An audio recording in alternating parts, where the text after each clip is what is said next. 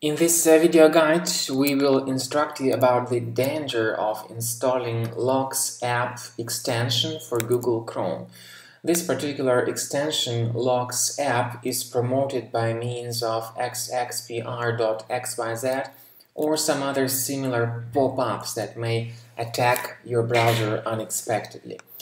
Now, it's important that you uh, realize the danger of installing this extension uh, because it additionally changes a lot of browser settings. In particular, it changes your search engine to some weird LOX search engine. However, it is not able to provide you with any decent and valuable search results. You need to be careful not to proceed with uh, installing it. However, we have to admit that often this uh, extension is bundled with some free applications. I'm going to install this extension on purpose in order to uh, teach you, to instruct you how to deactivate it once it has been installed.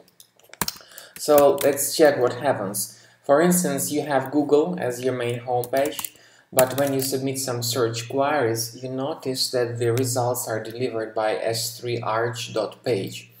So that's the result of that extension enabled.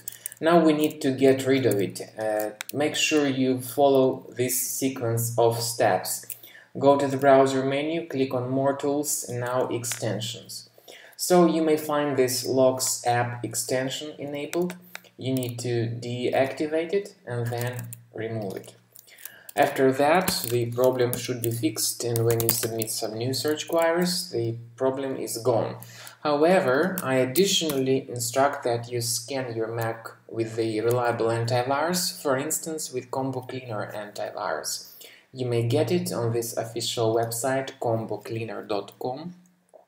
Download the application, install it and start it through your Launchpad.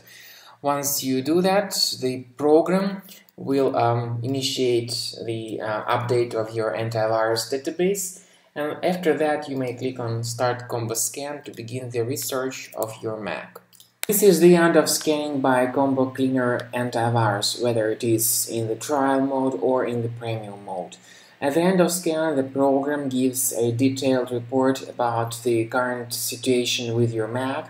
It gives you some tips how your Mac performance can be enhanced and you may also find the information about uh, the real security threats found by its antivirus even in the trial mode. You may click on review the results in the antivirus section and the program will give you a detailed report about all uh, real security threats found during the scan. So you may find the exact location of each thread one at a time. The program will give you the place where it is currently stored on your Mac, so you may click on this icon, show in Finder, and then you may remove each particular item manually by right-clicking on it and moving it to the trash or you may click on remove all threads button, however in this case the premium version will be required.